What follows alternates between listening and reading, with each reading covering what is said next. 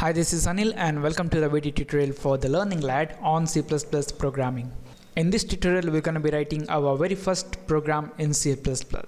I want you guys to open up your CodeBlocks IDE, which we have downloaded and installed in the previous tutorial. And uh, I want you guys to click on this create new project or you guys can go to this file, new and project. Select the console application, click on this go and then select C++ and next we need to give a project title. I'm gonna say hello world and uh, specify the location where you want to save your project and click on this next and click on finish.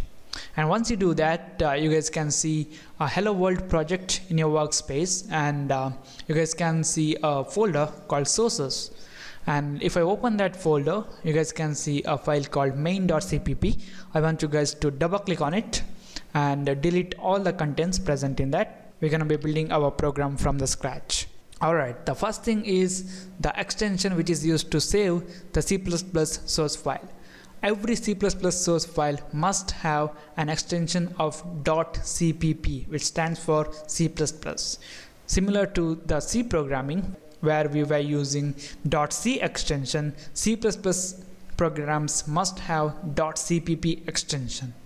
And the next thing is about including some header files or some library files to our program. When you download a tool set, you know, it comes with the compilers, the linkers and any other programs which, which are necessary to build the applications in C++ the vendors are going to provide some library functions which we can use in our program you know which contains some predefined features or some uh, operations which are predefined or pre-written which allows us to write our program very easily. So we just need to include the library files or the header files provided by them to our program and then we can use the features functions whatever available from that file. So to include a file in a C++ program, we're gonna use something called preprocessor. A preprocessor is nothing but a small program which is gonna run before the compilation process. And uh, here we're gonna use a preprocessor directive called hash include. This hash include preprocessor directive is gonna allow us to include the library files or the header files to our program. So I'm gonna write pound symbol or the hash symbol and uh, then include include and then between this less than and greater than symbol I'm gonna write io eam iostream so this iostream is the header file which we want to include to our program so that we can use some uh, objects such as cin cout cerr etc etc which are to help us to you know do some io task so here just remember that we're not using any extension. Uh, if you guys have any programming experience in C where we were using some uh, .h extension with the header files, this is a new style of headers provided in C++. So no need of any extension. And the next thing is about specifying the namespace that we're gonna use. A namespace is nothing but a declarative region in which various program elements can be placed. So this namespaces allows us to organize a large programs. So don't worry about it right now. You know, we're just gonna learn more about that in some other tutorials. So just remember that we need to specify the namespace that we'll be using. So I'm gonna write using namespace std so here all the library functions, library features, whatever available in C++ are placed under this std namespace. So here by using this statement we are specifying that I'm using the program elements declared in this std namespace. And then just remember to add a semicolon here. That's because every statement in a C++ program ends with a semicolon okay the next thing is about the main function or the starting point where the program starts execution. So in every program there must be a point where the execution starts. So in C++ the main function is the one where the execution of the program starts. So a function is nothing but a collection of statements which are going to do some particular task. Or we can say that these functions are going to contain the action that we want to do so to define a function in C++, first we need to specify what value this function is going to return.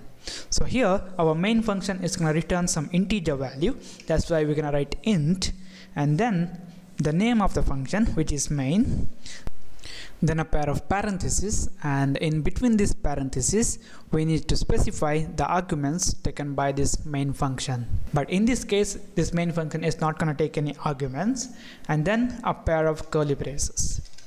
So here between these curly braces we're going to write the statements that we want to execute.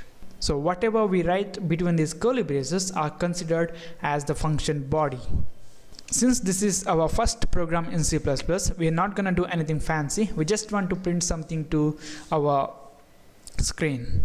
For that, we can use uh, output stream provided by this iostream uh, header file and that is called cout. So I'm going to write cout, then a pair of uh, less than symbol which is also called stream insertion operator you know which we can learn that in detail in the tutorial on cout and then in double quotes I'm gonna write hello world. And next I'm gonna add a semicolon. That's because every statement in C++ ends with a semicolon. And the next thing that we need to do is we need to return some value. Because here we specified that our main function is to return some value. So here I'm to use return statement and I'm going to return a value of 0. In a C++ program, a value return 0 indicates that this program has successfully executed. So whatever value we return here will be returned to the caller of this function which is the operating system in this case and once you write all these things just uh, save this and then uh, go to build build and run and um, once you do that you'll get a console window. So you guys can see here hello world process return 0 which is you know generated by the code block IDE so here you guys can see the hello world which is the string that we wanted to print it the next thing is if you guys are using any other IDE such as Dev C++ then uh, you guys need to add a pause to your program. For that uh, uh, you need to include another header file called um, cstdlib. So if you guys have program in C where we were using a header file called stdlib.h you know which is standard library.h uh, here in C++ to use that uh, file we need to write C then stdlib no dot h is required. And this C indicates that this header file is from the C. Alright next we need to add a statement before our return 0 and that's called system. And uh, here between these brackets we need to write pause. And then uh, end that statement with a semicolon. And once you run this save that and go to build build and run. You know your program will uh, execute as it is. All right so one last time we're going to have a recap. A C++ source file is saved with an extension of .cpp and uh, in a C++ program we're going to include some library files which allows us to use some predefined or pre-written uh, features. And uh, a C++ program starts with a main function or starts execution with a main function and whatever we write between the curly braces of a function definition is called function body. Alright guys, this is it. This is about the very first program in C++. Thank you for watching and don't forget to subscribe. Like my Facebook page at facebook.com slash learninglad and uh, if you guys have any doubt, don't hesitate to put a comment in the video. So I'll see you in the next tutorial.